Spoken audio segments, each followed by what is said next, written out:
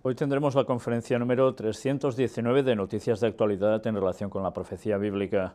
Vais a ver que hay alguna que destaca especialmente, porque algo ya empieza a cocerse en alguna parte de Latinoamérica. Y tiene que ver, cómo no, para terminar afectando al pueblo de Dios.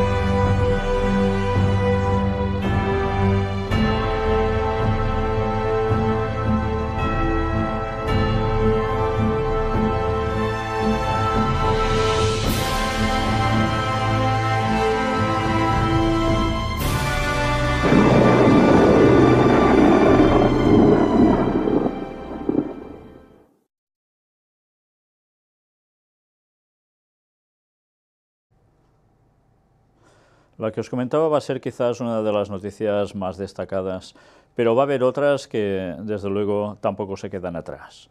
Vamos a empezar, como es habitual, con ese apartado sobre la creación de Dios y con algo muy curioso, porque los animales siguen dando sorpresas. La gente habla del sistema por el cual todo fue hecho en esta vida, es a través de la evolución, etcétera, etcétera. Y hay cosas que siguen sorprendiendo porque ya sabemos que eso no es así, pero a pesar de todo, los animales siguen dándonos algo realmente especial, y es esa extraña inteligencia que llegan a tener, que son capaces de hacer cosas también como los mismísimos humanos. Y en este caso me estoy refiriendo especialmente a este tipo de orangutanes que tenéis aquí. ¿Qué han conseguido hacer? Pues los científicos, después de estar siguiendo durante muchísimas horas a estos animales, filmándolos, han encontrado que son capaces de hacer una especie de medicina con unas hojas que se las ponen en la boca, las mastican, hacen como una espuma y se la aplican sobre las articulaciones musculares. ¿Para qué? Pues parece ser que es porque sobre todo las hembras, que son las que llevan las crías, cuando van de un árbol hacia otro, pues se van cargando sus articulaciones y con esto les va la mar de bien, es un antiinflamatorio natural y no se lo tragan porque luego sí que les iría mal pero hacen la pasta y se la aplican. Curiosamente, los nativos de ese mismo lugar, humanos, hacen lo mismo, también como un antiinflamatorio. Vamos a ver el vídeo porque realmente no deja de ser curioso. Pues eh, una vez más nos sigue sorprendiendo, como ya escribía Len White, sobre esa forma que tienen los animales de un cierto tipo de conocimiento, de inteligencia, que desde luego no es como la humana, pero que sigue sorprendiendo. Desde luego, evolución no, ya lo sabemos de sobras. Muchas gentes aún no creen que eso es verdad. Si creéis que eso es verdad, pues bueno, mirad todo lo que hemos presentado al respecto y lo sabréis de sobras, eh, como todo eso ha sido un gran engaño para conseguir ciertos objetivos. A pesar de todo, los animales siguen sorprendiendo por sus actitudes. Mirad esto también. Un cerdo salva a su compañero en el matadero. Esto sucedió en China cuando uno de ellos va a ser sacrificado por un operario del matadero, lo tienen eh, sujeto encima de un tipo de altar, para decir algo, en el cual se va a sacrificar, pues hay el otro cerdo que está cerca. Y vais a ver cuando ve cuando van a ejecutar a su compañero, su reacción. Mirad porque desde luego esos animales que eh, a veces parece ser que, por su naturaleza son así un poco más retraídos, en este caso no duda en hacer algo. Su reacción es ir a ayudar a su compañero de sacrificio. Eh, y no sacrificio para que lo ofrezcan a ningún dios, sino porque ya sabéis lo que sucede con eh, todo este animal, suele pasar todo al estómago de los humanos. Pero ¿por qué tiene esa reacción? ¿Cómo termina esto? Bueno, ¿Por qué tiene esa reacción? Parece ser que es bastante inaudito, pero sí se han visto reacciones, como no, de cuando las, madres eh, cerdas tienen sus crías y se ponen muy nerviosas cuando alguien se acerca y son capaces de atacar. Pero en este caso es algo sorprendente. Y lo consigue tocar lo suficiente para que caiga su compañero de allí arriba y se encara contra alguno de los hombres que iba a ejecutarlo. ¿Cómo termina esto? No lo sabemos. Eh, si está en un matadero difícilmente se librarían al final ninguno de los dos. Pero es curiosa esa reacción de solidaridad en un momento decisivo. Qué grandes lecciones nos siguen enseñando estos animales. Sí, serán cerdos, serán inmundos, serán lo que sea, pero también veis qué tipo de reacciones de ayuda enseguida para salvar a los de su especie. Realmente impresionante. Y humanos ven que algo pasa a otro humano, y eso podríamos pasar filmaciones prácticamente, no cada semana, pero casi, y la gente viendo cómo hacen algo los otros sobre otra persona y ni se inmutan. Grandes lecciones sigue dando la naturaleza, ese segundo libro que Dios nos ha dado para acercarnos a Él, incluso después del pecado. Algún día todo esto volverá a la normalidad y no hará falta ver escenas de este tipo y el humano con los animales no tendrá ningún problema mutuo, todo lo contrario. Bien, pues nos adentramos en escenas que eh, son duras una vez más. En este caso tiene que ver con crisis, y solo os pongo una de tantas que pueden eh, salir al respecto. Y fue en Atenas, las reformas del gobierno de Cipras pues eh, no gustan mucho a la gente y en consecuencia manifestaciones, altercados, lo de siempre. Y mientras, ya sabéis, ah, hay unos esquemas marcados para dirigir a las naciones y hay que cumplirlas sí o sí, y la gente, pues ya sabéis lo que le toca. Apartado para Cataluña. Ya sabéis que hubieron unas elecciones y el independentismo ahora ha conseguido hacer la mesa del Parlamento, ¿eh? la mesa del Parlamento, donde eh, son los que están dirigiendo toda la asamblea en este caso, y básicamente eh, quien gana son el movimiento independentista otra vez. Veremos lo que sucede este mes si deciden otra vez eh, poner de presidente a Puigdemont o, o no, si se hace y si se admite o no por parte del gobierno español y una vez más estamos en lo de siempre, con lo cual las tensiones no van a ceder seguramente por ningún sitio y las profecías se van a cumplir por todos lados. Vamos a adentrarnos en otro tipo de más no se unirán, también por Europa, y cuando una vez más todo parece que ya está consolidado, hay problemas. Tusk advierte que Polonia podría seguir el camino del Brexit y abandonar la Unión Europea. Tienen desavenencias económicas con la Unión Europea y no están acorde con los tratos que están recibiendo.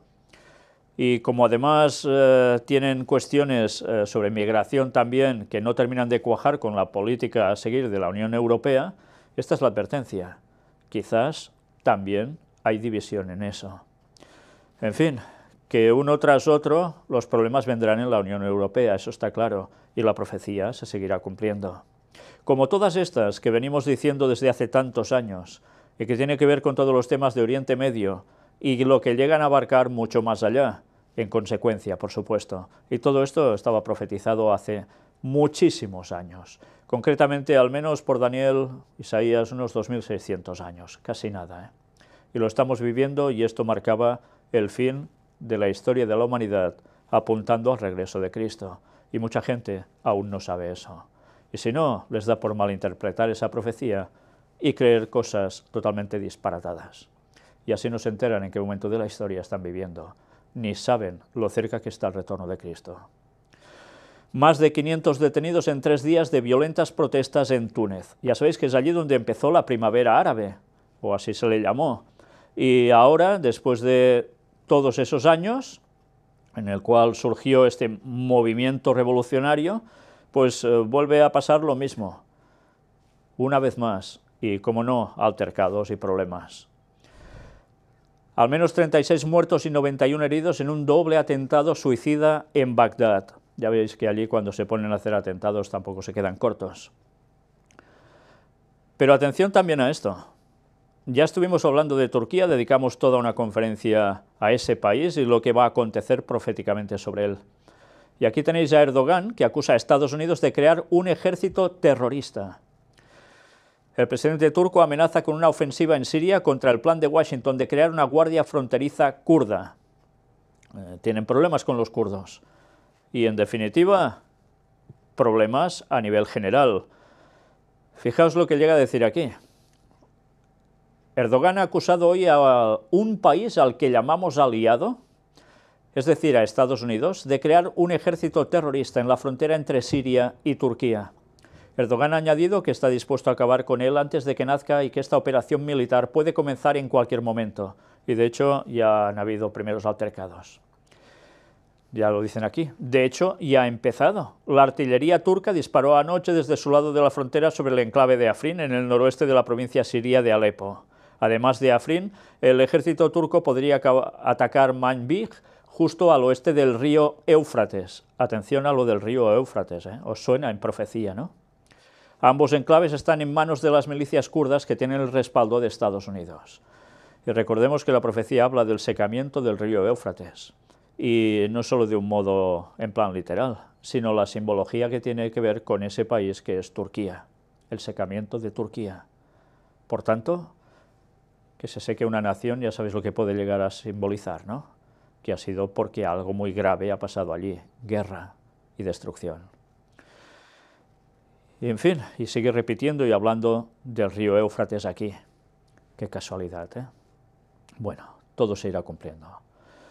A modo generalizado, nos hemos dejado algunos eh, que son sueltos, cómo no, pero por desgracia son unas 102 víctimas aproximadamente los muertos que han tenido que ver por cuestiones de terrorismo y demás en esos países. Casi nada. Dejamos ese apartado para entrar en algo un poco más distendido, ciencia y tecnología. Y como iría en aumento, al igual que el conocimiento profético, vamos a mostrar alguna cosa que tiene que ver con ello. Sony lanza su perro robot Aibo y agota todas las unidades en venta anticipada. ¿Y qué hace este animal? El robot es capaz de aprender nuevas palabras, gestos y órdenes y responder a estas a través de un sistema de inteligencia artificial. Ya veis que la inteligencia artificial se está trabajando muchísimo. El precio, unos 1.481 euros, eh, casi nada. Y aquí nos da más detalles. Sony lanzó este jueves a la venta su nuevo robot doméstico Aibo, un perro inteligente y capaz de crear conexiones emocionales con los humanos, que agotó todas sus existencias durante la venta anticipada. Además de dar afecto a sus dueños, el robot es capaz de aprender nuevas palabras, gestos y órdenes y responder a estas a través de un sistema de inteligencia artificial en la nube, que le permitirá desarrollar una personalidad única, detalló la empresa nipona. La mascota artificial tiene un precio, como hemos dicho, de unos 1.481 euros, aparte 673, eh, en fin, historias de estas que ya sabéis que todo se va encareciendo, pero eso sí, ese desarrollo de personalidad que tendrá este animal mecánico, pues va a ser único, porque cada uno de ellos va a ser distinto en función de la relación de interconexión que tenga con el humano que lo tiene en posesión. Desde luego, eh, tiene sus ventajas, no hay que sacarlo a pasear, bueno, también conoces menos personas, porque hay gente que utiliza el perro para esas cosas, pero tampoco tienes peligro de que te multen eh, si, ya sabéis, eh, el excremento queda por allí, no recogido, que eso no se debería hacer, pero se hace en algunos lugares, y no tienes ningún problema de limpieza, no suelta pelo, no se queja nadie en casa porque hay que barrer o pasar la aspiradora. Un éxito, claro que sí. Y un sustituto a un animal de verdad. Desde luego, evidentemente, nunca un animal de verdad podrá ser sustituido por una máquina, eso está claro. Pero como esto hace gracia a algunas personas y la tecnología va avanzando y está en cautivadora, el precio pues llega a importar poco para algunos. Pero ¿podrá sustituir acariciar a un perro normal, acariciar a un robot metálico? Evidentemente no. Ya sabéis que los animales, en este caso también el pelo de los perros, eh, tienen una interactuación con el ser humano y, relaja el contacto con el pelo. Bueno, quizás se lo cubren de algo, pero realmente hay cosas, emociones, que nadie te puede dar por mecánico que sea. Otra cuestión. Alibaba crea un modelo de aprendizaje artificial que gana la mente humana. Fijaos cómo se sigue trabajando para que el tema de, la inteligencia artificial vaya llegando a unas cotas eh, prácticamente impensables para muchos que solo se veían en ciencia ficción. Pues mira qué nos dice aquí. El modelo aprovecha la red de atención jerárquica que lee párrafos, oraciones y palabras para ubicar las, frases, las fases precisas con posibles respuestas. Y asegura Alibaba tiene un valor comercial significativo. Estamos especialmente entusiasmados porque creemos que la tecnología subyacente, se puede aplicar gradualmente a numerosas aplicaciones, como el servicio al cliente, los tutoriales de los museos y las respuestas en línea a consultas médicas de pacientes, disminuyendo la necesidad de aportes humanos de una manera sin precedentes, con lo cual más gente al paro. Claro, si la máquina lo va a hacer prácticamente todo sustituyendo a un humano. Por ejemplo, esta tecnología se aplicó en el pasado Día del Soltero o Doble Once, curioso, el Festival Global de las Compras por Internet, donde las máquinas respondieron a una gran cantidad de consultas entrantes. O sea que va a llegar un momento en que ya prácticamente no diferenciarás eh, la máquina si te responde o, o es un humano que te responde. Pero está claro que todo va avanzando de un modo impresionante. Y bien, dejamos esa fase más relajada para entrar una vez más en dominios un poco macabros. Latinoamérica, apartado para México. Dos muertos y siete heridos en un ataque a un restaurante en Cancún. Ola de decapitaciones en el estado mexicano de Veracruz. Cuatro cabezas fueron halladas sobre el cofre de un automóvil en el municipio de Sayula de Alemán. Agresor apuñala a varias personas en una iglesia de México. Un muerto y heridos. Dicen que parece ser que estaba bajo el efecto de las drogas pero vaya cosas de ir a hacer, ¿no? Porque no les dará por hacer el bien. Encuentran los restos mutilados de al menos nueve personas abandonados en una camioneta. Hallan 33 cráneos humanos en el oeste de México. Casi nada, ¿eh? Todo esto en una semana. Ya me salto los periodistas que siguen matando y las otras personas que van cayendo una a una. Pero realmente la situación no es nada agradable. ¿Os recuerda esto la tendencia al mal de los últimos tiempos? Estaba profetizado. Al fin de los tiempos la tendencia al mal crecería, como en los días del diluvio, previos al diluvio. Apartado para Bolivia. Y atención porque aquí nos vamos a encontrar con esto. Evo Morales amenaza con la cárcel por predicar el Evangelio, es el titular. Un nuevo código penal pendiente de aprobar podría encarcelar a los bolivianos evangélicos o silenciarles. Son casi dos millones, el 19% de la población. Es curioso que este señor, después de ir a hablar con el Papa, aplique esto.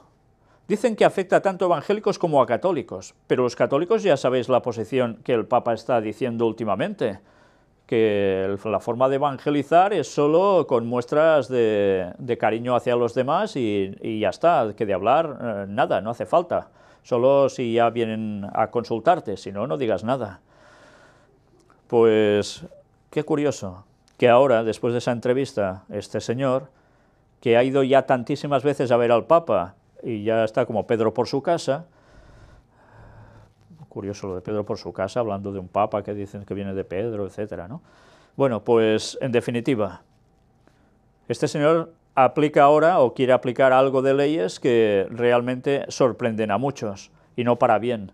Se trata de un ataque a la libertad religiosa, consagrada en la Constitución de Bolivia, artículo 4, basándose en el artículo 88.11 del nuevo Código Penal, pendiente de aprobación, que establece penas de cárcel de 7 a 12 años para quienes hagan proselitismo para organizaciones religiosas o de culto. ¿Y el Papa qué dice? No hay que hacer proselitismo. ¿Os acordáis? Lo presentamos la semana pasada y otras veces también. No hay que hacer proselitismo. Y ahora este señor aplica lo que dice el Papa. Impresionante. Y esto que él, eh, pachamamas y cosas de esas, ¿eh? Ya. Así dice textualmente el artículo. Será sancionado con prisión de 7 a 12 años y reparación económica a la persona que por sí o por terceros capte, transporte, traslade, prive de libertad, acoja o reciba personas con el fin de reclutamiento de personas para su participación en conflictos armados o en organizaciones religiosas o de culto. Fijaos cómo pone al mismo nivel cuestión terrorismo o conflicto de guerra con organizaciones religiosas o de culto. Realmente es impresionante. Vaya forma de conclusión, que una cosa es igual a otra. Bueno, en algunos lugares sí, por supuesto, pero ¿ahí entran todos? Pues da que pensar, ¿eh? Desde luego el papado está apretando mucho en Latinoamérica. Vamos a presentar en pocos días el viaje que el Papa está haciendo por Chile y Perú. Veremos el antes, el durante y el después. Y vais a ver cosas sorprendentes, porque cuando uno está recopilando todo lo que está aconteciendo allí, es realmente impresionante. El papado está trabajando directamente, muy fuertemente para Latinoamérica. Mirad cuántos viajes el Papa no ha hecho ya precisamente a todo ese lugar, esa zona. ¿Por qué? Pues por algo es. No va de turismo. No va solo a decir, hola, ¿qué tal, señores católicos? ¿Cómo estáis? No, no. Va por algo más. Y desde luego, en Latinoamérica el catolicismo tiene su peso. Y mucho, aunque en algunos lugares como en Chile parezca que ya no tiene tanto, porque la gente de a pie no lo sigue tanto y eso también lo veremos, pero las altas instancias lo están moviendo todo a la perfección y van a dar la sorpresa. Latinoamérica creo que ya puede empezar a temblar, porque el papado va a apretar muy fuerte allí, quizás antes que en otros lugares, debido a esa tradición católica que tiene tanto peso y que está tan bien posicionada durante tantísimos años en todo el continente americano, pero especialmente de México para abajo. Semejante redacción pone al mismo nivel el reclutamiento para conflictos armados, terroristas, con la evangelización, lo cual es sin duda extraño. A lo que se añade la amenaza de cárcel. Si se aplica con el rigor de lo que la letra dice, en Bolivia no se podrá predicar el Evangelio o invitar a alguien a asistir a una actividad religiosa. Este código penal silenciaría a casi dos millones de bolivianos evangélicos de fe evangélica, que representan el 19% de la población. Esto atenta gravemente contra la Carta Magna de Bolivia. La Constitución Política Boliviana señala lo siguiente en su artículo 4. El Estado respeta y garantiza la libertad de religión y de creencias espirituales, de acuerdo con sus cosmovisiones. El Estado es independiente de la religión. Pero lo cierto es que esto se incumple a través de este nuevo Código Penal o de leyes ya aprobadas como la 351, mediante la cual el Estado trata de controlar a los evangélicos y a la Iglesia católica, obligándoles a pagar elevados impuestos. Los protestantes en concreto temen que sus asociaciones terminen disueltas por la férrea presión a las que les somete el gobierno de Morales. Evidentemente hay cosas que no pueden ser tan descaradas. Si pusiesen al mismo nivel eh, o un nivel distinto católicos y protestantes ahora con el tema de impuestos, pues quizás sería ya demasiado descarado, ¿no? Ah, conviene disimular un poco. Pero desde luego el papado está trabajando impresionantemente con sus esbirros. Y vaya si lo están haciendo bien. Y aquí tenéis a evangélicos, pastores bolivianos, que están realmente impactados por esas decisiones gubernamentales y piden en oraciones, cada uno con su forma de adoración y de invocación. Pero esto afecta a todos. Ahora vale la pena preguntarse, ¿llegará el momento en que ser de denominación religiosa oficialmente te va a traer muchos problemas, ¿no? ¿Cómo va a terminar esto? Ya sabemos que al final el auténtico pueblo de Dios no podrá decir yo soy de esta iglesia, porque esa iglesia habrá desaparecido. Toda iglesia va a ser absorbida por el tema ecuménico y los que no ya saben cómo van a terminar. O se someten o adiós muy buenas. Y al final cada uno tendrá que ir por libre, no habrá organización en concreto. Y esto Lenguay también lo escribe al respecto sobre los adventistas. No podrá haber organización concreta. Cada uno deberá estar como pueda. Y la verdad es que para estar dentro cuando ya se está haciendo tanto comunismo también allí, pues ya toca quizás coger velas. Y velas no de encenderse con una llama, sino de velas de barco, ir tirando por tu cuenta, porque no va a quedar otra, porque en todas partes cada vez la apostasía omega está siendo fatal, va creciendo aún más, y eso no se detiene ni se va a detener. Y el pueblo de Dios se deberá ir juntando como pueda, por grupos, aparte, sin registros oficiales de nada, porque no queda otra. Y ahora ya no es tiempo de generar nuevas iglesias con nuevos nombres, eso ya no toca. El tiempo se acaba. Y aquí tenéis pruebas de ello. Y esto que ahora pasa allí, en cuantos lugares más no va a pasar en breve. En fin, que Dios quiera que aún se frenen las cosas para que el Evangelio llegue a todos. Pero con el tiempo que queda para el retorno de Cristo, lo más fácil es que estas cosas vayan en aumento. ¿Y qué hicieron los evangélicos? Pues movilizarse contra ese código penal en Bolivia. La Asociación Nacional de Evangélicos de Bolivia muestra su preocupación por una norma que puede constituirse en abuso estatal y rechaza cualquier instrumentación política de sus reclamos. ¿Y qué han decidido hacer? Pues mirad esto. El próximo domingo 21 de enero, las iglesias evangélicas de Bolivia celebran un día especial de ayuno y oración. Se está convocando para que todas las iglesias de Bolivia salgan de sus cultos para ir a las plazas, expresó Ruth Montaño, asesora legal de ANDEP. Yo me pregunto, ¿los adventistas también irán? Pues claro, también les afecta, pero hay una diferencia, ellos guardan el sábado. Y estas personas lo que van a hacer es un día de ayuno y oración en domingo para ir todos juntos. ¿Caerán también en un ecumenismo por esto? ¿O tendrán más fe en Dios y seguirán avanzando pase lo que pase? Porque esto en definitiva también lleva a un ecumenismo, no sé si os habéis dado cuenta. Bueno, pues vamos a ver el vídeo donde precisamente aparecen estas situaciones y explicadas. Los evangélicos se están agrupando para hacer frente a esto y pidiendo en oración que Dios haga algo y actúe para que eso no tire adelante.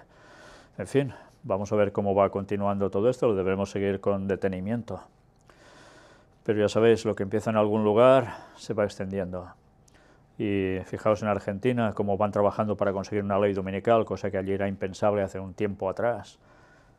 Cuántas cosas más veremos al respecto. Bien, pues vamos ahora a adentrarnos en Honduras. Choques con la policía en protesta contra los resultados electorales. Sigue aún habiendo la polémica por la cuestión de he ganado yo, has ganado tú, y todos quieren mandar. Con lo cual la cosa no termina a saber hasta dónde va a llegar todo esto. Y apartado para Venezuela, que siguen como siguen. Y ahora al menos siete muertos en un operativo contra el grupo terrorista liderado por el policía venezolano Oscar Pérez, que ah, alguien me ha dicho de que pertenecía a una logia masónica, que lo echaron también de allí. Eh, fue la persona que ya sabéis que hizo ese ataque con helicóptero. Ah, pero al final iban a por él, lo han cogido y y ha terminado como ha terminado. Sea como fuere, la situación sigue siendo convulsa en Venezuela. Cuántas personas me seguís escribiendo desde allí contándome cómo está esa situación, desde luego no pinta nada bien. Y ya sabéis que es una situación que puede tener implicaciones con el resto de países colindantes. Lo mismo que pasa entre Bolivia y su salida al mar con otro país, y tantas cosas más que pueden llegar a acontecer. Es un continente que está como un polvorín y desde luego pronto vamos a ver cosas allí. Dejamos ese apartado para... ¿eh? ¿Qué es esto? ¿Cómo calificarlo? Pues bueno, a ver cómo lo calificáis vosotros. La mujer que quiere casarse con el Tetris tras salir con una calculadora.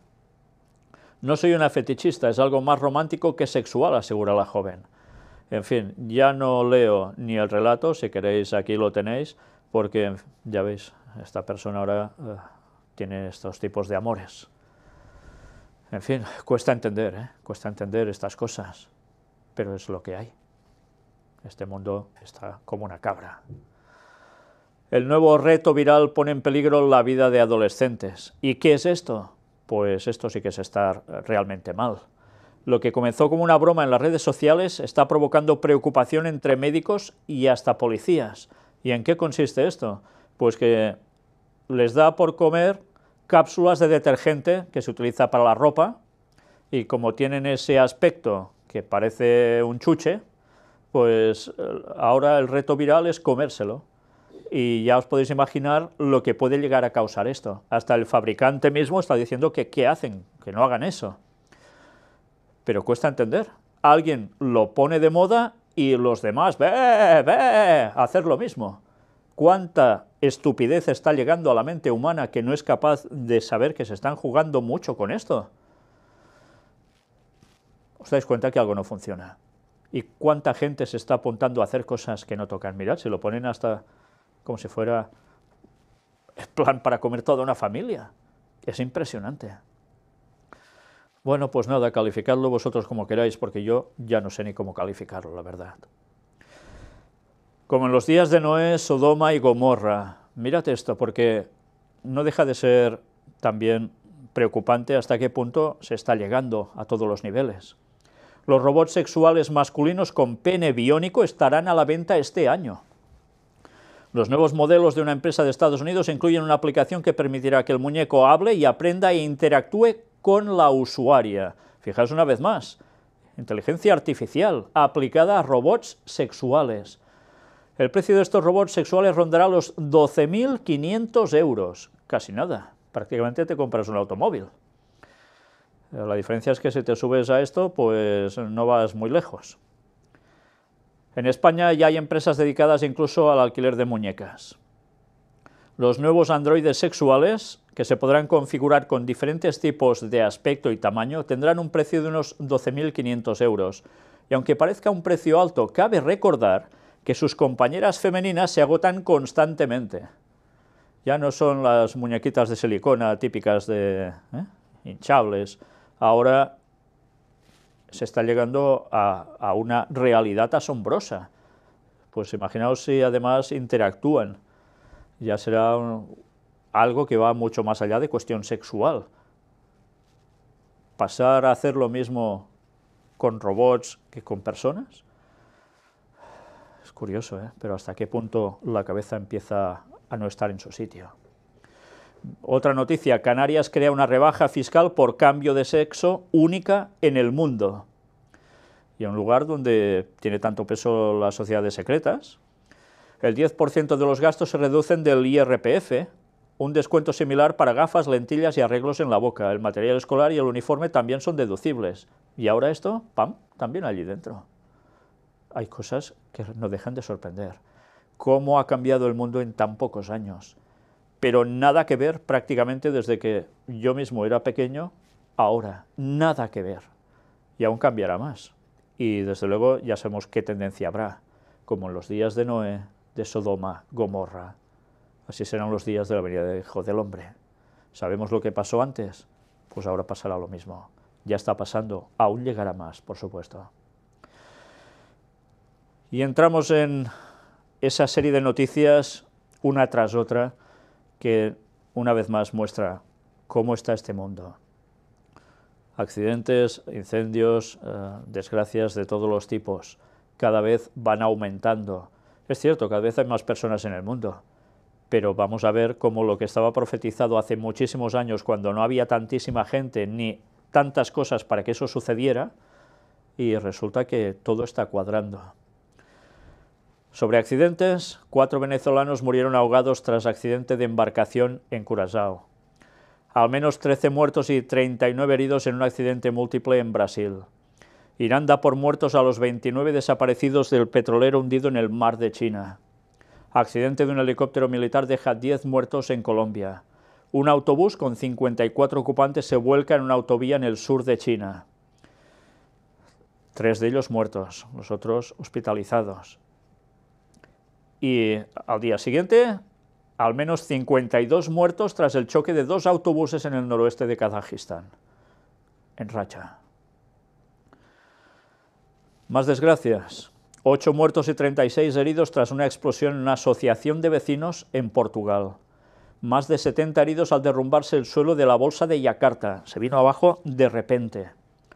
En Bélgica colapsa un edificio residencial tras una fuerte explosión. Ya veis cómo ha quedado.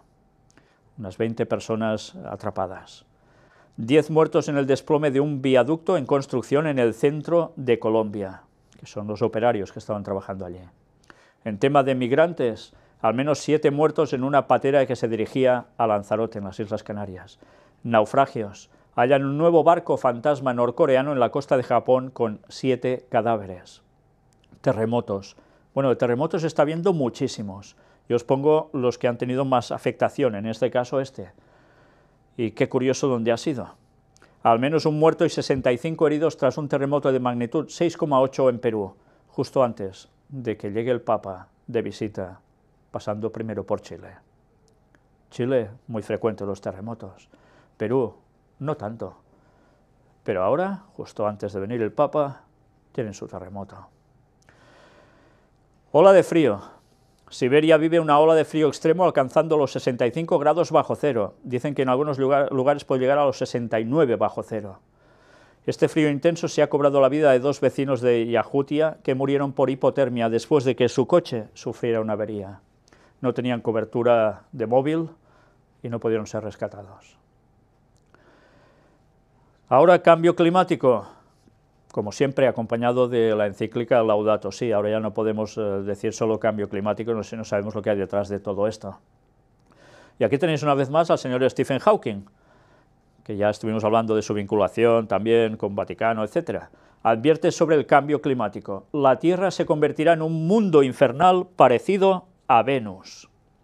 El físico recordó que el segundo planeta más cercano al Sol una vez fue habitable, pero la acumulación de gases de efecto invernadero lo convirtió en un sitio con temperaturas de 460 grados y vientos que superan los 300 kilómetros por hora. ¿Y qué llega a decir?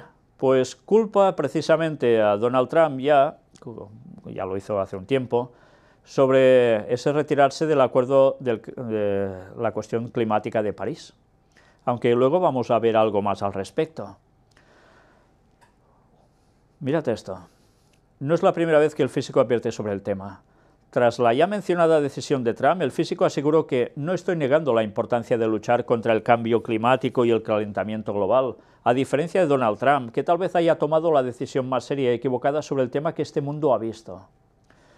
Asimismo, Hawking ha mencionado en varias oportunidades que la humanidad debe encontrar un nuevo hogar en el espacio en los próximos 200 a 500 años si quiere sobrevivir pues bueno, si supiera que en 13 años o algo así ya habrá encontrado un nuevo espacio por mil años la humanidad para vivir, los que queden vivos, y va a ser hasta estar al lado del trono de Dios en el cielo durante mil años, el milenio que cita Apocalipsis, pues ya no se preocuparía tanto por esta cuestión.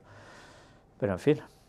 Además, instó a los principales países a que envíen astronautas a la Luna con el objetivo de volver a la exploración espacial, incluyendo la instalación de una base lunar en 2025. Los recursos se están agotando a un ritmo alarmante. Le hemos dado a nuestro planeta el regalo desastroso del cambio climático, sentencia. Por tanto, ¿quién ha sido el que dice que regala el cambio climático? Pues nosotros. Nos hace culpables absolutamente a todos del cambio climático. ¿eh? Qué forma de llevarnos a esa mentalización del bien común y que todos debemos pasar por un mismo rasero. ¿eh? Qué bien trabajan. Y aquí tenéis precisamente la réplica a lo que estaba diciendo el señor Hawking. Trump anuncia que Estados Unidos podría retornar al Acuerdo de París sobre el cambio climático. ¿Cómo puede ser? Pues ahora dice, matiza, que él no está en contra de toda esa cuestión de trabajar contra el cambio climático, sino que lo que no estaba de acuerdo es en esos acuerdos a los que llegaron que a Estados Unidos le repercutía económicamente muy mal, pero que si eso se va arreglando y se hace un poco distinto, pues pueden volver a retornar al Acuerdo de París. O sea, ahora sí, ahora no. Cuando interesa, para según qué. Pero ha quedado claro que la postura anticambio climático no queda bien vista ya por nadie en este mundo, salvo raras excepciones. Y el papado presionando tanto para ello y el único que parecía ser el adalid eh, magnate en contra de todo esto, presidente de Estados Unidos, pues ahora parece ser que ya empieza a matizar las cosas. Todo el mundo se irá supeditando, ¿eh? eso está claro. Nadie hará lo contrario a lo que dice el papado, porque de lo contrario ya sabemos lo que pasa. Bruselas propone invertir mil millones de euros en un superordenador europeo porque los que hay no son tan potentes y quedan atrasados respecto al resto de, lugares que ya tienen estos superordenadores. Pero mirad para qué puede servir. La Comisaría de Economía y Sociedad Digital, Marilla Gabriel, afirmó que una mejor infraestructura de supercomputación aumentaría la competitividad de la economía europea y repercutiría en campos como la medicina o la lucha contra el cambio climático. Desde luego, el tema del cambio climático va bien absolutamente para todo. Sirve para todo. Es el comodín en que todo encaja. Es genial. Calentamiento global. Esto es lo que espera a millones de personas en los próximos 25 años. Los expertos advierten sobre cambios irreversibles en el modelo climático e hidrológico mundial en las próximas décadas. Y cuando veis todo lo que dice, es que claro, los patrones de precipitaciones van a ser impresionantes, en unos lugares eh, extremo de una cosa, en el otro extremo de la otra, graves desbordamientos de los ríos, mm, evidentemente hay regiones que son muy vulnerables por la situación en la que están, según nos refieren aquí, y nos habla de también este dato. En caso de no tomar las medidas necesarias, el número de habitantes del continente norteamericano expuestos a los riesgos de inundaciones podría aumentar de los 100.000 actuales hasta un millón. A su vez, unos 55 millones de personas en China podrían correr la misma suerte. Fijaos cómo por todos lados nos están advirtiendo de lo que se viene. La lástima es que no digan el auténtico porqué de todo esto. Una vez más, miraos las conferencias que presentamos en Costa Rica y en Tenerife posteriormente. Vais a entender mucho mejor todo esto porque quien está detrás son de los que vamos a hablar ahora, el Vaticano. Y no es por echarle las culpas a todo el Vaticano, es que ya lo hemos demostrado, y otros que se añaden a todo ello. Líder moral. El Papa Francisco invita a 2.100 sin techo, presos y refugiados a ir al circo en Roma. Interesante, ¿eh? Lo que hace es ser un líder moral, claro invita a todas esas personas que no tienen dónde estar y los pone en el circo para que se distraigan de sus penas. En fin, ¿no sería mejor que diesen cosas que ellos tienen, que le van sobrados, y se les acabarían esos problemas a esas personas de por vida y a tantísimos más en el mundo? Pero es un acto que queda muy bien, ¿verdad? Pan y circo, ya.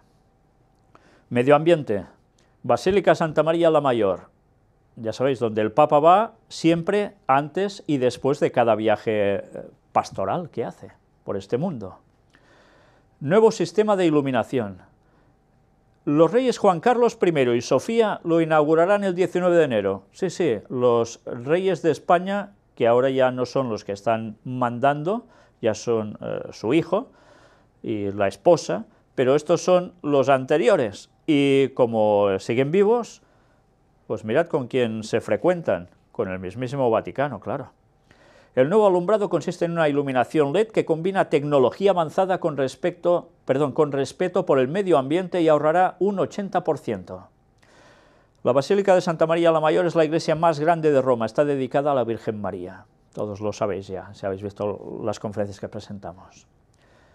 Una vez más, son los adalits del medio ambiente. Los primeros en cambiar toda una iluminación de un gran lugar para ahorrar. Y porque, claro, evidentemente no contamina. Están siendo los números uno, ¿eh? Qué bien lo están trabajando en todos los aspectos. Atención a esto, contradicción o apertura. Mirad bien esta noticia, porque esta noticia tendrá mucho que ver si la recordáis, con lo que vamos a presentar sobre el viaje del Papa a Chile y Perú, eh, principalmente sobre Chile. Porque después de ver esto, diréis, ¿qué cara hay que tener para hacer y decir lo que el Papa ya ha hecho y dicho en Chile? Estad atentos, por favor, porque vale la pena que conozcáis esta noticia. Es de esas que he de decir que no tiene desperdicio. Miradlo. ¿Quién es Liliane Ploumen, la promotora del aborto condecorada por el Vaticano? Ha causado mucha polémica la noticia de la condecoración por el Vaticano a Lilian Plumen, promotora del aborto y el lobby LGTBI en los Países Bajos. Y hay incluso quien ha dudado de la veracidad de la información. El pasado sábado publicábamos la noticia de la condecoración por el Vaticano de Lilian Plumen, una destacada política holandesa. Ya veis que esto está extraído de Info Vaticana. El Lepanto Institute pudo confirmar a través de un programa de la radio holandesa emitido el 22 de diciembre de 2017 que Plumen recibió esta distinción vaticana. En un breve videoclip en el que promocionaba la emisión, Plumen mostraba la medalla indicando que la había recibido del Papa. Aquí la tenéis, la imagen. Y esta es la traducción del diálogo entre el entrevistador y la señora Plumen. Y este es el enésimo premio que Lilian Plumen obtiene, concedido en 2017 de quién procede. Sí, es un alto reconocimiento del Vaticano, del Papa, del Papa. Es bonita, sí, es de comandante de la Orden de San Gregorio. Y esto a pesar de que usted es pro aborto. Sí, puede comprobarlo. Además, en el propio programa completo, que pueden escucharlo aquí, Plumen explicó con más detalles la condecoración vaticana. A continuación, una traducción del diálogo para Info Vaticana. El entrevistador, has vuelto a ganar un premio. Sí, he ganado otro premio, he recibido un gran premio del Papa. ¿Es por lo que haces para el aborto? Bueno, eso no se menciona, pero es en sí mismo interesante que se mencione que es por los activos que aporto a la sociedad. Eso es cierto para muchas otras personas. Claro, y el Vaticano sabe, creo, que fundado ella decide. Se refiere a la ONG que promueve el aborto. Pero eso no impide que me hayan otorgado este premio. Eso es especial. ¿Qué tipo de premio es? Es la medalla de comendador de la Orden de San Gregorio. Bien, felicitaciones. Gracias. Esto es bastante progresista por parte del Papa. Mucho y disfruto recibiéndolo. ¿Lo ves como una confirmación de lo que estás haciendo por las niñas y por el aborto? Sí, también, y en los últimos años he invertido mucho en contactos con el Vaticano. ¿Lobbying? Sí, haciendo lobby. Mira, ya sabes, porque el Vaticano, especialmente bajo los papas anteriores, tenía una actitud bastante rígida cuando se trataba de los derechos de las mujeres y las niñas. Absolutamente. Y eso no cambiará en poco tiempo, no tiene que hacerse ilusiones al respecto, pero tal vez haya ciertas áreas en las que aún podamos cooperar y lo he intentado. Por ejemplo, la Iglesia está muy en contra de los matrimonios de niñas también, y para nosotros esto puede sonar extraño, pero en muchos países la Iglesia tiene una gran influencia, por lo que cuando un obispo puede decir, querida gente, es una mala idea concertar matrimonios para niñas a la edad de 14, entonces esto ayudará. Tuvimos un obispo en Uganda que se había manifestado en contra de la homosexualidad y luego el Vaticano le ha dicho, mire, no estamos a favor de la práctica, pero el hombre es creado así y debemos aceptarlo de esa manera. Impresionante, ¿eh? ¿Y también eres tan pragmática de pensar que el Papa o el Vaticano pueden ayudarte en tu misión? Ciertamente. Incluso cuando no lo aprueban ellos mismos. Sí, por supuesto, no te confundas tienen una voz muy influyente a través de los fieles, pero también son parte de las negociaciones en las Naciones Unidas, por lo que hace una diferencia si se unen a Arabia Saudita o si se ponen del lado de los Países Bajos, y por tanto los tengo más bien de nuestro lado. ¿De parte de la parlamentaria Plumen? Sí. Decir que Lilian Plumen es pro aborto es un gran eufemismo y no retrata en absoluto la escandalosa realidad de su activismo. En enero del año pasado, Después de que el presidente de Estados Unidos, Donald Trump, estableciera la México City Policy, Plumen lanzó una nueva ONG llamada Ella Decide, con el fin de proporcionar enormes cantidades de dinero a organizaciones que ya no recibirían fondos del gobierno estadounidense. La México City Policy niega automáticamente fondos de los Estados Unidos a organizaciones internacionales que realizan o fomentan el aborto. Refiriéndose a la México City Policy como una ley mordaza global, Plumen declaró que la intención de Se Decides, o Tú Decides, era seguir apoyando los programas existentes y que llevan a cabo organizaciones como el Fondo de Poblaciones de Naciones Unidas, la Federación Internacional Planet Parenthood Federation, que ya sabéis cómo funciona el tema al respecto, y Marie Stopes International. Ha afirmado, estos son programas exitosos y efectivos apoyo directo, distribución de preservativos, garantía que las mujeres están acompañadas en el alumbramiento y que el aborto es seguro si no tienen otra opción. Hasta el mes de julio de 2017 el programa de Plumen había recogido más de 300 millones de dólares. Os advierto que esta noticia está escrita por personas que son católicas, pero que lo que hacen es eh, mostrar lo que el papado está haciendo en la actualidad, que no a todos les gusta. Por eso hace ese especial énfasis en el tema de aborto. Y también, ya veis, preservativos y demás.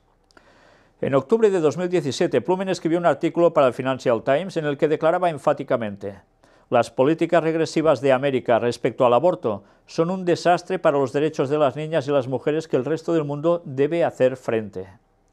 Irónicamente, hace unos días, a Plumen se le concedió el premio Maquiavelo por su campaña en favor del fondo Se Decides por un aborto seguro. El artículo sobre el premio indicaba que el premio Maquiavelo se concede a personas u organizaciones que el jurado considere que han destacado en comunicación pública. El jurado apreció de manera particular la velocidad con la que Se Decides fue creada y se difundió globalmente. Es importante indicar que desde 2004 a 2007 Plumen fue directora de programas y estuvo en la junta de directores de Cordite, la agencia de ayuda de la Iglesia Católica de Holanda, y que fue pillada concediendo fondos a Planet Parenthood repartiendo anticonceptivos. Pero la actividad anticatólica de Plumen no se limita al aborto. En septiembre de 2017, Plumen participó en el grupo LGBTI de las Naciones Unidas. Como primer orador de este evento, Plumen declaró que los derechos LGBTI son derechos humanos. En sus comentarios de apertura dijo, no podemos ser autocomplacientes. Actualmente en más de 70 países la homosexualidad sigue siendo un crimen. La gente LGBT sigue estando estigmatizada en todo el mundo. En 2014 Plumen puso fin a la ayuda extranjera a Uganda porque el gobierno de este país había aprobado una ley prohibiendo la sodomía y el matrimonio entre personas del mismo sexo. Es uno de esos pocos países que aún se mantiene así. ¿eh? En febrero de 2010, Plumen hizo un llamamiento a los activistas LGBT para que interrumpieran la misa en la Catedral de San Juan Bautista, llevando triángulos rosas con las palabras Jesús no excluye a nadie. Curioso que fueran triángulos. ¿El motivo? Ella y otros activistas pro-LGBT protestaban contra la enseñanza de la Iglesia respecto a la homosexualidad. La Pontificia Orden Ecuestre de San Gregorio Magno fue creada en septiembre de 1831 por el Papa Gregorio XVI. El honor de ser nombrado miembro de la Orden se concede a personas por su servicio personal a la Santa Sede y a la Iglesia Católica Romana a través de su trabajo extraordinario su apoyo a la Santa Sede y su excelente ejemplo en su comunidad y país. ¿Cómo caza, cómo calza una cosa con otra? ¿Cómo se puede entender esto? Si no es porque van unidos de la mano trabajando con los mismos objetivos y aparentemente por un lado se hace una cara en el caso del Vaticano y por detrás se hace lo que se hace. Habría que ver qué servicio ha dado Lilian Plumen a la Iglesia Católica o a la Santa Sede, dado su acérrimo apoyo a la homosexualidad, el aborto y la anticoncepción. Fijaos cómo no dejan de quejarse por esto estos autores del artículo. El hecho por el que Lilian Plumen ha sido conocida el año pasado es la creación de un fondo que proporciona cientos de miles de dólares a organizaciones que cometen abortos y dan anticonceptivos, por lo que es difícil, si no imposible, separar su reciente honor pontificio de este acto escandaloso y lamentable. Pues bien, si queréis ver el vídeo donde aparece esa entrevista, vamos a mostraros precisamente ese vídeo. Pues ya lo veis, no son bromas, es lo que es. Y esa es la condecoración dada por el papado a esta señora. Algo no cuadra, pero es curioso que sí que hay algunos católicos que se dan cuenta de estas cosas y como son católicos tradicionalistas, les sorprende lo que el Papa actual está llegando a hacer y como lo ven como una aberración absoluta, lo denuncian. Pero es curioso que por un lado se hagan unas cosas así, por detrás otras, y es el juego continuo del Vaticano de toda la historia.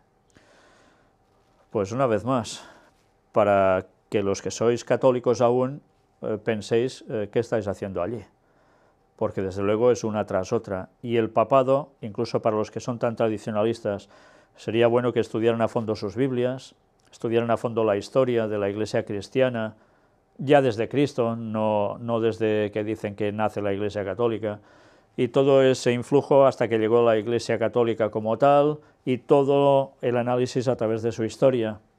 Y si veis eh, casos de gran santidad de verdad a nivel papal, pues seréis los primeros quizás. ¿eh? Babilonia, así la llama la Biblia, cuando Babilonia ya no existía.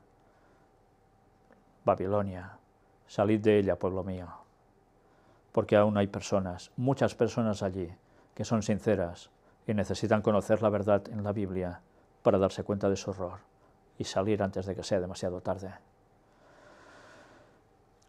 Apartado ahora para Rusia. Masacre inspirada en Columbine, dos estudiantes apuñalan a 15 personas en una escuela rusa. Tuvieron una reyerta y ya se terminó todo. Estados Unidos, atención a esto, un informe que dice que el agua del grifo de más de 170 millones de estadounidenses es radiactiva. Un nuevo estudio revela cifras alarmantes del riesgo de desarrollar cáncer por beber agua del grifo que corren los ciudadanos de Estados Unidos. Y ahora salen estos informes. Casi nada. ¿eh? ¿Cuánta gente no corre ese riesgo por haber ido consumiendo agua del grifo como si fuera tan potable? Y aquí tenéis eh, paso de espacio para que los interesados de Estados Unidos podáis eh, detener y mirar todo el artículo, porque vale la pena. Presentan cargos contra nueve personas en California por dar comida a personas sin hogar. Ya vimos que en algún lugar esto ya estaba eh, sancionado, pues ahora de nuevo surge esto. Una nueva medida en la ciudad de El Cajón impide el reparto de alimentos por riesgo de contraer hepatitis A. Como protesta, un grupo de voluntarios llevó comida a un parque público de la ciudad. Y claro, ya podéis imaginaros, pues eh, recibieron sanciones. La respuesta es eh, que les dieron para que no hicieran eso. Si realmente quieren ayudar a este colectivo, pueden salir, recogerlos, llevarlos a casa y darles de comer, darles una habitación, una ducha. Pero que no les diesen nada allí mismo. En fin, que cada vez el ayudar a gente se está poniendo más difícil. Será por una cosa, será por otra. Noticia de Estados Unidos. Es algo histórico. El índice Dow Jones alcanza los 26.000 puntos por primera vez. El índice bursátil de la Bolsa de Nueva York dio un salto de 1.000 puntos en dos semanas. ¿Y esto qué indica? Pues ahora veréis quién hace alarde de todo esto. Pero primero, Apple repatriará 250.000 millones tras la reforma fiscal de Trump y anuncia 20.000 nuevos empleos.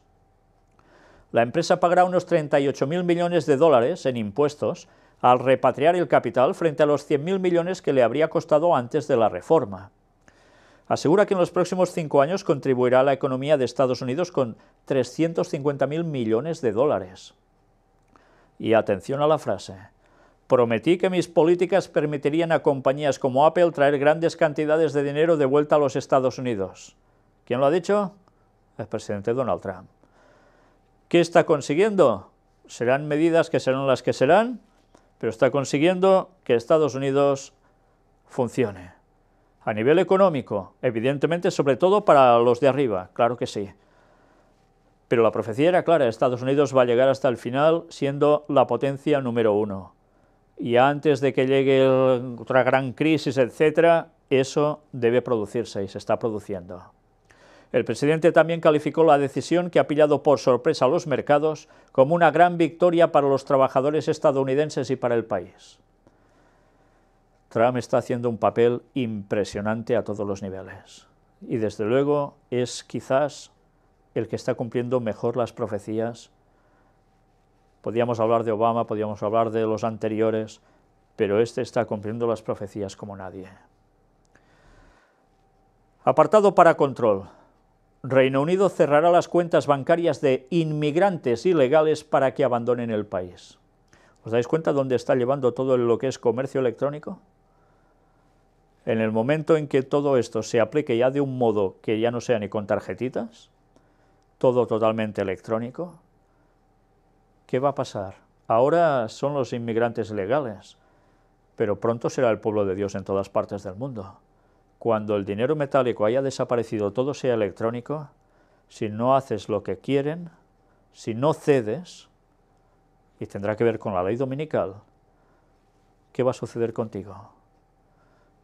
ya van haciendo las pruebas y funcionan. ¿eh? ¿Estaremos preparados cuando todo eso se haga efectivo y dentro de poco tiempo? La cita del final de todo, de Ellen White, tendrá que ver con ello. No os la perdáis. Atención a esto. Nuevo orden mundial. Una noticia que procede de aquí. Vais a ver tirando del hilo donde nos lleva, porque desde luego cuando uno ve la noticia, qué fácil es ir a buscar tirar del hilo, porque ya evidentemente algo se huele uno. El ministro de Finanzas francés afirma que en cinco años surgirá un nuevo orden económico global. ¿Y sale de quién? De Bruno Le Maire, advierte que tanto su país como la eurozona deben implementar reformas urgentes para enfrentar ese desafío. Viene un nuevo orden económico global, nuevo orden mundial en definitiva, porque la economía es la que mueve el mundo. Mirad esto. Vamos a buscar quién es este señor que dice esto. Aquí lo tenéis. Y se nos dice de este señor ¿Dónde ha estado estudiando? Eh, claro, es que es lo primero que ya vas a buscar porque ya te lo hueles. Y cuando vemos los lugares donde este señor ha estado estudiando, tiene un currículum interesante, mirad esto. Aquí nos dice los lugares donde ha estado estudiando. Notre Dame de Francia, escuelas eh, secundaria católica, San Luis de Gonzaga, eh, y nos va avanzando y aún nos dice otros lugares, como el Lycée Louis Le Grand, pues el instituto. Vamos a buscar esto, y aquí tenéis esta escuela. ¿De quién es? Pues ya lo podéis imaginar, de los jesuitas, claro. Pero no vamos a conformarnos con esto, miramos también ese liceo. Y cuando vemos quién lo ha hecho, pues resulta que vamos a lo mismo, colegio jesuita. Mira por dónde. Este hombre va estudiando de jesuita a jesuita y tiró porque me jesuito. Y seguimos donde ha estado estudiando, Instituto de Estudios Políticos de París. Y claro, dices, ¿y esto? Eh, fundador, Emile Boudmy. Vamos a buscar. Resulta que este señor que aparece aquí es el que responde a la crisis política y moral que golpeó a Francia después de la guerra desde 1870 y le da por hacer esa fundación junto a alguien más. Pues claro, ya dices, vamos a ver dónde aparece este hombre. Pues resulta que aquí, en el blog de los masones parisinos. Claro, entre jesuitas y masones va todo. Y este señor que hemos visto es el que habla de este nuevo orden económico global que se nos viene encima. Nuevo orden mundial en definitiva. ¿Influenciado por quién? Movido por quién, ya lo veis. Jesuitas y masones. Tanto monta, monta tanto al final. Por desgracia hay masones que aún no lo saben. Pero hablando de este tema de la élite que está moviendo todo por detrás, vamos a ver dibujos animados. Sí, no es para recrearnos ahora, ah, mira qué bien, porque desde luego hay cosas que no paran de sorprender con los dibujos animados.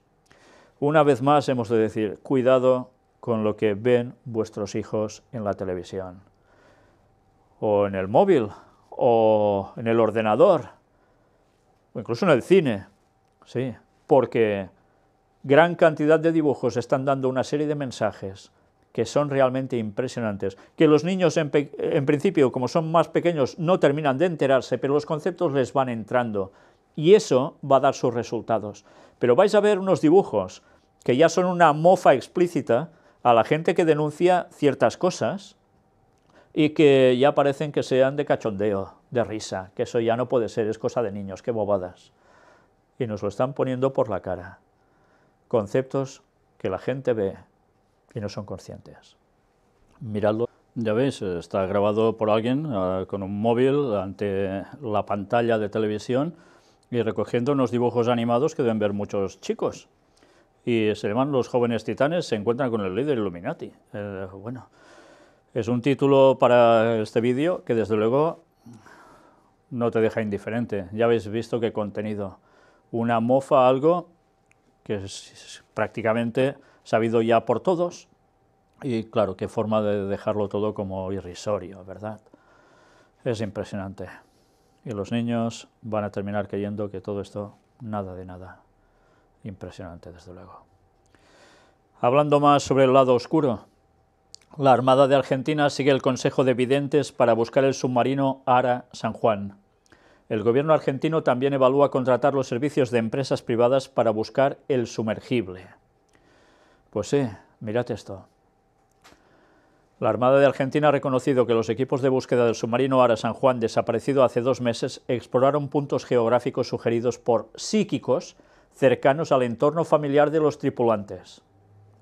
Es cierto, se buscó al norte y por fuera del área en dos puntos sugeridos por los videntes que acompañan a algunos familiares. Esto lo confirmó el vocero de la institución argentina, Enrique Balbi. ¿Qué os parece? Van al mundo del espiritismo para solucionar las cuestiones. Sabéis, hace muchos, muchos años, yo debería tener unos 15 eh, años o 16, era aprendiz de pintor en ese entonces, y trabajando, uno de los compañeros de la empresa en la que yo estaba pintando, él me decía de sus condecoraciones, por estar en contacto con la policía, porque también, aparte de pintar, trabajaba así, en casos de evidencia para destapar casos que la policía no sabía cómo esclarecer. Y tuvo, no sé si me dijo, tres o cuatro condecoraciones al respecto.